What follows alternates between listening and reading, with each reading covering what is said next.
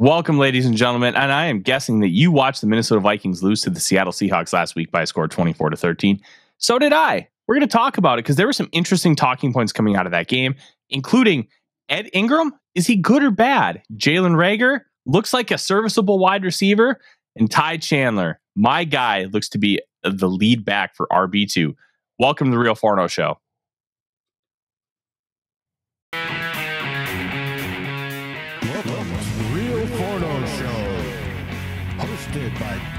Tyler Forness, the managing editor of USA Today's Vikings Wire, writer for the College Football Network, publisher of Substack Run In Shooter, host of The Good, The Bad, and The Hungry on the Voices of Wrestling Podcast Network, as well as a founding member of Vikings First and Skol. You are looking live. Well, no, actually, you're looking at a recording. Uh, my name is Tyler Forness. With me, as always, top right corner is producer Dave. I have a funeral to go to this afternoon, so it is a early recording for us, but we are still excited to talk with you about your Minnesota Vikings. And I, I can see you guys in the comments right now, or I can at least visualize it in my mind. You guys going absolutely bananas. And I greatly appreciate you guys joining us here this evening. Dave, how are you on this Monday? It's Monday. Yay. I'm doing great. We've got another week of football, but let's get your take on that Thursday night game. And uh, what did you think went wrong with the Vikings in that preseason game, if anything? They had to play third teamers. That's what went wrong. Uh, the third team just did not play well at all. And there were a lot of different reasons why the third team didn't play well. And let's kind of start with the bad because I want to finish with the good because there was quite a bit of it. Let's start with Andrew Booth Jr. He is a very interesting player. Obviously, comes out of Clemson. He was hurt the entire time he played at Clemson and was really, really, really good. And then he gets hurt in his rookie season, plays less than 200 snaps. Well, that has kind of translated over into his success early on. There hasn't really been any. He was always uh I wouldn't say a full blown project, but he needed time and he was raw. But uh, his ability to like click and close, which is plant your foot in the ground and just explode out of the blocks, kind of like a sprinter. Like that's the kind of thing that you're looking at when you're talking about the click and close. Great, fantastic. But he also gets a little aggressive. And that touchdown by Jake Bobo in the fourth quarter, that was Andrew Booth Jr. getting a little too aggressive. And he bites hard on a honestly a really bad fake on a slant because it was a slant and go.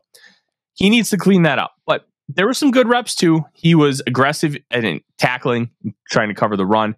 I saw a few really good reps in coverage. He's going to take time. And it's a very frustrating process when you have a guy who was picked 42nd overall. We're still talking about him taking time, but did not have much of a rookie season.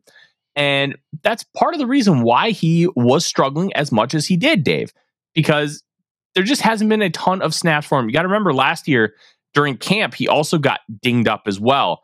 And I believe that injury occurred in the Raiders preseason game, which was the second of three preseason games for the Minnesota Vikings. So you kind of uh, look at everything all encompassing. Kind of is what it is. Like it stinks, whatever. He's figuring it out, and we'll move forward. Uh, from what I get, what I've heard is he has a tendency to bite on bite on routes. When a receiver goes to juke, to plant, to deceive, you know, to shoulder, I'm going this way, and then cuts back. He al- he's always been biting on that. And he needs to learn to probably change his where he focuses on the receiver at that point in time. It's just like when you're coming up to a tackle, uh, running back or whatever. If the running back's going to put some moves on you, right? You can go with running back, go with the shoulder fake or the you know sort of half plant step or whatever it is to get you to bite. Same with a receiver. Watch their belly button. You go where your belly button goes. You're not going to be moving. The belly button doesn't move around that much. Watch the belly button. If he could learn that and not get sucked in, you know, like a fishing lure, like you're going for northern pike up in them lakes, he could be decent. and and on that one play versus Bobo, he he bit on Bobo's first move, and that was it. Mm-hmm. Yeah, and it, that type of aggressiveness is good, Dave, but it has to be harnessed, and I think that's where we just don't have it right now with Andrew Booth Jr. Can we get there? I really believe so. I think he's a very talented player, and I thought he could have been a top 15 pick if he would have been healthy enough to test at the combine because those testing numbers I think would have been absurd, especially that initial burst. Probably has like something like an 80th or 90th percentile 10 yard split just because of how quick he is out of those blocks. But we never got that. And that's one of the reasons why he fell. And the injuries, like he got dinged up in training camp. He missed a week of practice. Look, he gets, he's a football player. They all get dinged up and they're all pushed to the side and be like, hey, excuse me, take a minute Get yourself healed up. It's training camp. No need to rush it. So that's normal. And, but it's just extra frustrating when it's a guy like Booth. All right. Sticking in the defensive backfield, how concerned should fans be over Lewis Cine? People need to calm down. And why do they need to calm down? look, it's frustrating that he's not where he needs to be. At the end of the day, it's okay. Here's why. He's basically on his second rookie season because of uh, how his first one ended up playing out. That's number one. Number two, look, he's figuring it out. It's a slow process. At the end of the day, that's okay. Because, uh, like, one of the big things here, Dave, not everything was bad. There was some frustrating pieces, but looking at the all 22, like he needs to grow still, but there's a lot of good there. And I wrote about it for the Vikings Wire that came out on Sunday afternoon, littered with film clips talking about this exact thing. He's fine. And oh, the Vikings just made a roster move. They have signed tackle Chim Okorafor and waived Jackie Chen. So the Jackie Chen era in Minnesota is officially over. And I will Did we even that. see him play? I don't remember his name being called on Thursday at all. I don't either, but this is the like the fourth offensive lineman the Vikings have brought in in the past two weeks. They are trying to really mess with this depth and see what they can figure out. Um, but I wonder if there's another of, injury. Well, if Chin it, was injured or something. It, they just said waived the Vikings um, uh, tw- uh, Twitter account just released it, which means they I don't believe they waived it with injury designation, but I'll click on the article. So they always have something. Yep, it's just waived, so it's just not an injury based. Okay. Yeah. So big thing was Cine. Look, you have to give him time. You have to be patient, and that's annoying. It's very annoying, Dave. Nobody wants to be patient with a high draft pick, but he played two defensive snaps last year, and they were literally talking about how they, they're going to start working him in and getting him more snaps. And then he snaps his leg in half. Not the kind of snaps that they were hoping for, let me tell you. But when you pair everything together, it's it just kind of is what it is. And you're looking at a guy who's going on to his second rookie season. And because he's going on to his second rookie season, you have to be patient. And he is a player that is incredibly aggressive and he needs to learn how to read things better in front of him. And you saw some of that against the Seahawks on Thursday night, where he read a couple things just beautifully and attacked, attacked, attacked. But he's also not reading coverages great. Um, look, he's not a phenomenal backhand safety like a deep guy. You're going to want him playing a lot in the box and attacking downhill. That's where you're going to get special stuff. Like there was a play where he blew up a run in the hole, but he couldn't quite finish the tackle, and the run went for like three more yards. But he was on the opposite side of the field, like 10 yards back, and sprinted across the formation and hit the running back in the hole. That's the kind of stuff that you're going to see out of Cine. And those are the special plays that are going to really make him a good football player. It's just going to be tough because there's a lot of nuance behind what he's capable of, where he currently is, and all of the above. So we'll give it time. And that is going to be uh, just a really big thing. And I've already seen a lot of pushback. He's a first round pick. He shouldn't be given time. Like, I don't think people realize how hard it is to transition to the NFL. Like, right. what Cine is so good at is just shooting down from the from the backfield, coming in, bang, right, and hitting hitting the gap where the receiver is, where the uh, where the running back is, whatever. He does it so fast. It's just it's a lightning shot. Bang. What I saw was poor tackling technique.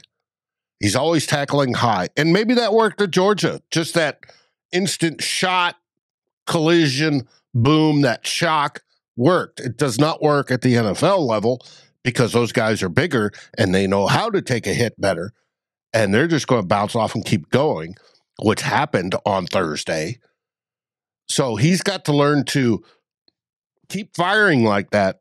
But as soon as he gets to the runner or the receiver, break down if they're in front of him, break down and do a proper technique tackle, right? Mm-hmm. Where he's putting shoulder in, he's wrapping, the whole works, boom. He can, if he can learn that, and these are skills that are taught from Pee Wee football on up. If he can combine that with that speed, the ability to absolutely fly across the field, he's going to be special. But he's yep. got to learn that. Without that, he can have all the speed in the world, but if you can't make a tackle, that's you know part of your job on the defense. Yeah, and I, you make a really good point that I was going to transition to here in a minute, and that's the tackling high. Now, here's what we mean by tackling high. When you're a safety, you don't want to attack up here. You don't want to attack the shoulders, the chest. You want to attack the waistline and below. Why? It's all about leverage. It's all about being able to maximize what you have. And attacking a running back or a tight end up here is going to give them the ability to leg drive you away and be able to break that tackle relatively easy. Uh, think of prime Adrian Peterson when guys would try to tackle him high, how he would just be able to bounce off of him like a pinball machine and he'd just be able to keep going and going and going. It's the same construct, same concept. And looking at that, it, if Cine just goes lower, he'll be okay and he'll be able to make a lot more tackles. That was an issue at Georgia and it's an issue now, but I think we're it's something you can fix. It's something you can work on. You don't have to have a, uh, him tackle high for the rest of his life. Like that's something you can fix. It's it's not a mechanical thing. It's a hey, just a coach it up thing. And I think that they're going to be able to do that. They're going to be able to figure it out. And I'm not super concerned about him long term right now. Now, if things don't progress and develop, that's a problem. And we're going to have to have that conversation. But he's safety number four in a very good safety room. And I don't think people realize that. I talked about Metellus being a potential cut candidate. He's proven me wrong and good on him. And the coaching staff obviously loves him and they're trying to utilize him in a lot of different ways. But seeing it, it's not about him, it's about everybody else. Everybody else is just playing better football right now. And that's okay. It's we have a deep safety room. Yes. Thankfully. There's other areas of the team we're not deep, but safety we are. All right, next one. Talking about bad performances. Was Ed Ingram's performance as bad as people made him out to be? No. And it's that simple. No. When you look at the film, and I clipped 12 plays of Ed Ingram, yeah, there's still warts. There's still things he has to work on. And there's things that frustrated me that I've had conversations with people about that aren't necessarily a big deal. The biggest thing is Ed Ingram likes to do this thing where he likes to just punch you. And that can that can be a detriment as an offensive lineman. So the punch, it comes like right here on the shoulder and like knocks you back and knocks you off your access. Well, if you miss, or it, it gives the opportunity for the defensive lineman to counter you and get past you quicker. So you have to be spot on. And to me, that's a frustrating thing because I would rather you just get him in the clench and be able to win. And that's something Ingram can do really well. Well, he is trying this punch and sometimes it works and he just blows a guy up but it just looks like he's losing because he's giving the guy an opportunity to counter so one thing that uh, i was shown was okay well when he punches and then they re-engage. Where is this guy compared to the rest of the defensive lineman and offensive lineman? Well, Ingram, the ball snapped here. Ingram is here. Everybody else is over here. So it's not as big of an issue. Like, the, like theoretically, it's something I would prefer him not do, but in practice, it's working. And the offensive line struggles were really not on Ingram. There was a little miscommunication. Austin Schlottmann did not look very good at all.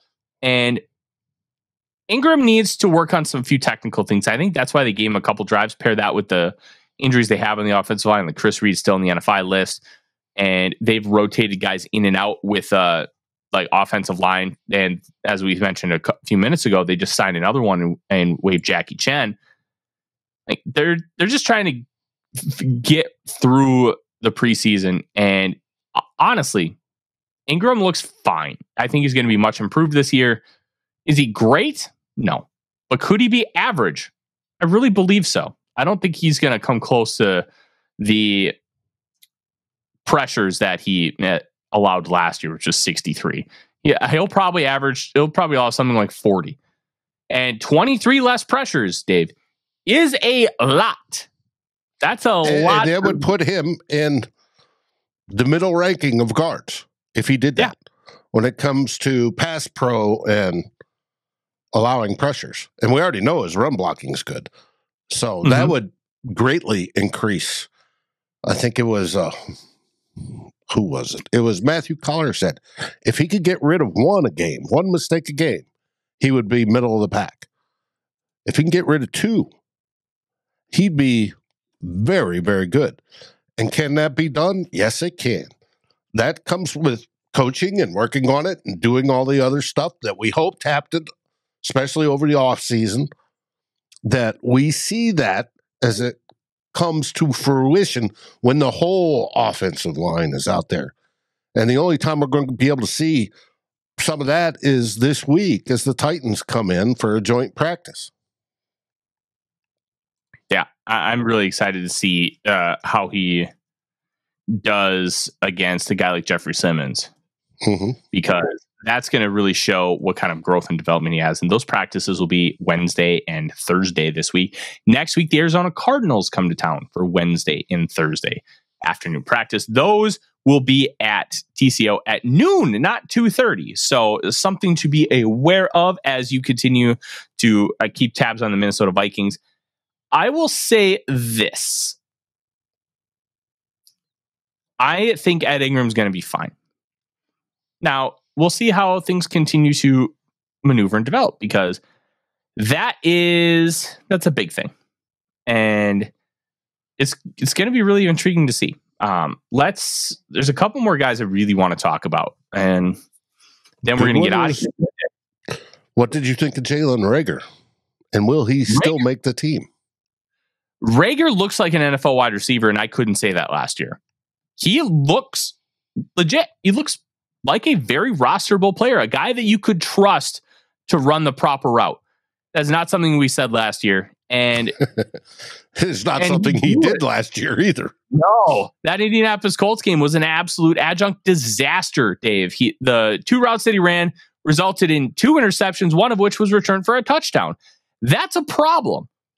In this game, he had four catches for 55 yards. He was running crisp routes. Uh, he and I highlighted six of them, including he ran an out route against cover three, which was just great. He created a lot of separation, did the toe drag.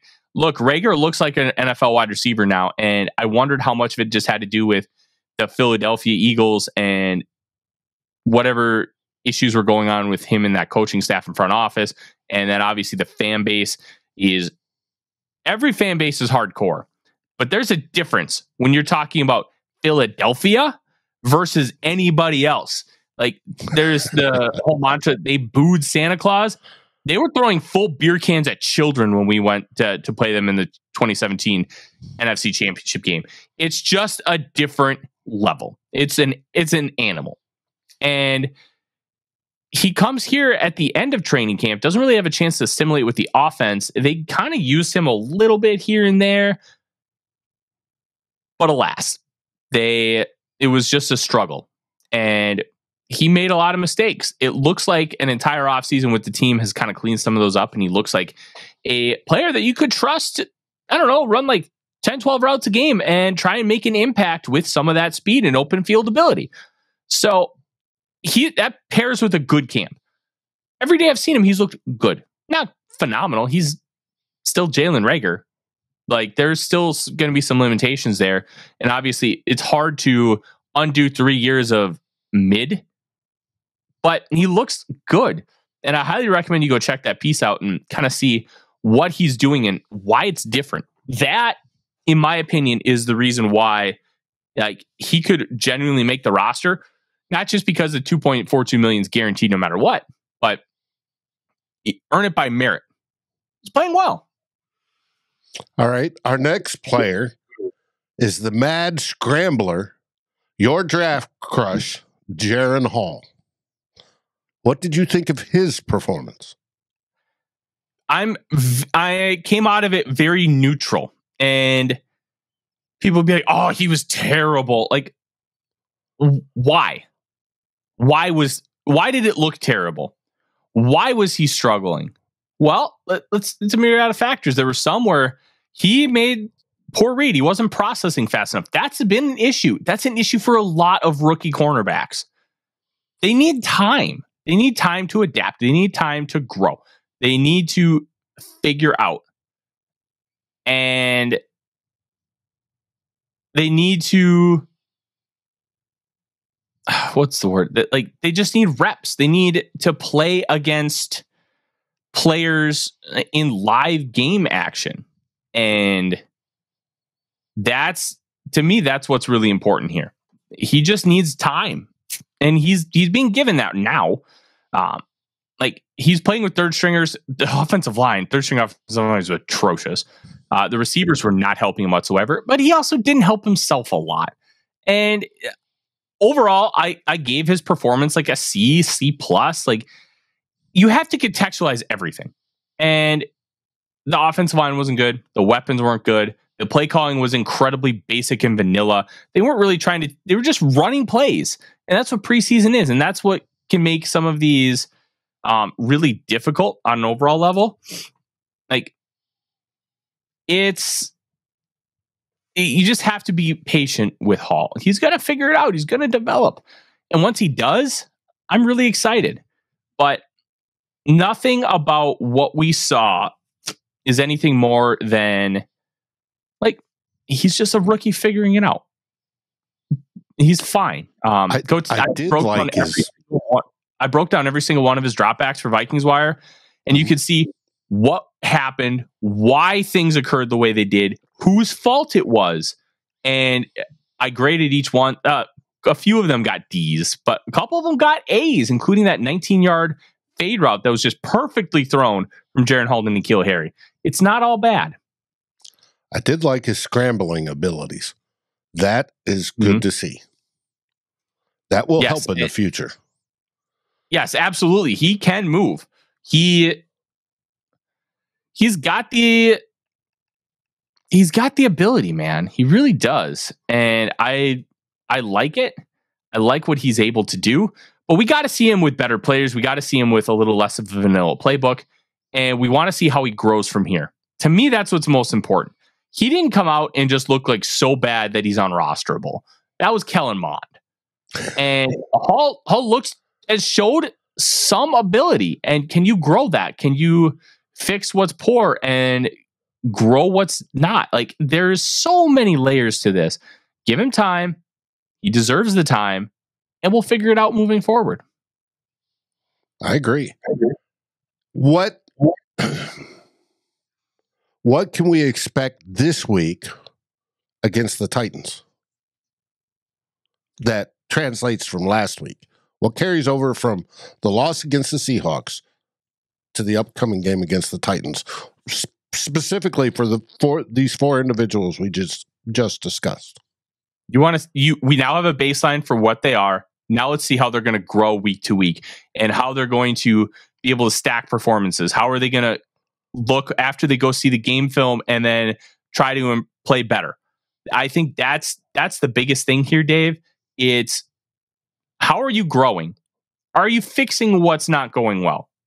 Those questions are the, the ones that need to be answered because everybody's going to struggle. Like the first time out is arguably the worst and the one you really need to throw away the most. If Lewis Cine balls out in game two and Jaren Hall balls out in game two, let's say Ed Ingram is just a, an abysmal player. Like it's like, okay, then it's like a scientific method project. All right. Come with the hypothesis, then you gather data, and then you gather more data and now you have data and that either coincides or rejects your first data, and you have to kind of look into why. And it's not all just about one thing, it's about the whole picture. And the more info you have, the better off you are at making decisions. And that's why I think the Adofo-Mensah era has a real chance to be successful because they are patient and they are looking at so many different avenues of data. And that is really important when you're having these conversations. You have to be able to look at multiple aspects of data. And I think that we're going to see a lot of growth, but I also think we're not going to see any first teamers in the next two games because they're going to be doing these joint practices. And I think we're going to see a lot from the second team, and that's going to really paint a, another picture for us. Yeah, I agree on that. They're going to be in the joint practices where it's more controlled. They're not necessarily taking guys to the ground. There's less chances of injury. They're getting their reps, but they're not going to play during the actual games because that, that'll be second and third stringers. And that's where the almost where you want it to be because you want, yes, are the first stringers getting tuned up, ready for the season? Yes, they are with the joint practices. During the other, during the games, you're getting to evaluate your bottom end of your roster. Who are you going to keep? Who are you going to cut? Right? Who has promise, even if, you know, may not have played well, but you're seeing something. I, I might want to stash this guy on the practice squad, whatever. That's where the games are going to come in valuable to us as fans to see, to look at those individual players. Because don't expect the third team offensive line to do great. They they can't. It's just they don't have the communication down. They don't have the time down. They don't even if an individual player does great blocking, right? He doesn't it's not a cohesive unit. You're not going to get a cohesive unit until we're back to regular playing football. So, you want to look at the individuals, see if they grow. You want them to grow. See if they take coaching well. You want them to take coaching well and see how they perform yeah, I, I'm really excited to kind of see how this team continues to grow because honestly, that's the big thing. It's about seeing the growth and being able to kind of talk about it. And we're going to be able to do that a lot here on the Real Forno Show. And it's it's going to be really interesting to see how things play out. I'm very excited about it, and I know Dave is as well. Like there wasn't a ton to gather from this game just due to the fact that you know it was what it was. But I want to talk about one thing before we head out of here today. Ty Chandler looked really good, and Kevin O'Connell spoke about after the game. He's like, look, we're not always seeing this in practice, but it was great to see it in a live game. So I would say, with everything going on right now, that uh, Chandler is probably your num- uh, lead guy for RB2. And I think that's well earned, well deserved. There's a lot of moving parts here, and I'm intrigued to see how it all plays out.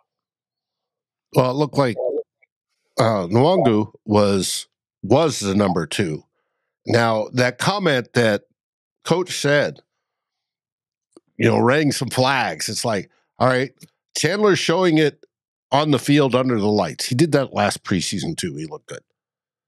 And mm-hmm. he showed it obviously on Thursday. I thought he had a great game, especially when it came to his pass blocking. I, he didn't miss a pass block. But is he just the guy that plays great under the lights and doesn't practice well? And if it's not practicing, why isn't he practicing well? Because he should be. And if he starts practicing well, like it suddenly he's clicked that during practice he can do those things. And it's, I mean, a lot of his stuff is he's so hard to take down. Most of his runs, he got past the first defender. Well, in practice, you get the defenders doing the two hand touch thing, the tap, and I got you, right? And there's no, There's no realistically, well, you didn't try to take me down. You're not going to take me down. So I can't show anybody that I can blow through you because I'm technically down because you touched me. It's it's going to be interesting to see if he t- if he cranks it up just a bit this week. If we start to hear coach say, "No, he's getting it in practice now too," what we want to see, I hope we do, and then he'll s- s- easily solidify that RB two slot because Kene is missing in action. Yeah, he's got a boo boo mm. of some sort and can't make the team in the tub, as they always said. Now, Kene probably will make the team, but if you're if you can't practice and you can't play, you're no good to the Vikings. Bingo, bango, bongo. And that's going to be really interesting to look at moving forward and see how things continue to grow and develop with this running back two spot. It's going to be interesting, especially because we're expecting the running back to be a committee approach this year. And Mhm. I'm excited to see how it plays out. But that's going to be it for today. Uh, a really interesting game against the Seahawks. And we're going to come back on Wednesday talking about the game against the Tennessee Titans, which I believe is Saturday night, correct? I think it's Saturday. I haven't looked. Yeah. I can look. Hold on. Saturday, Saturday. Schedule. Boink. Saturday night, 7 p.m. Central. Saturday night's all right for fighting. And we'll be Mhm. here on Wednesday to talk all about it. Thank you very much for tuning in. Sorry it wasn't live, but family comes first. And I appreciate you understanding that. From Dave, I'm Tyler. One thing we always say Skol Vikings, baby. Skol Vikings. like, subscribe, and ring the bell to get notifications. It helps us grow this community that we all love our Minnesota Vikings. And on behalf of Tyler Forness and myself, Dave Stefano, thank you so dearly for watching The Real Forno Show. Skol, everyone!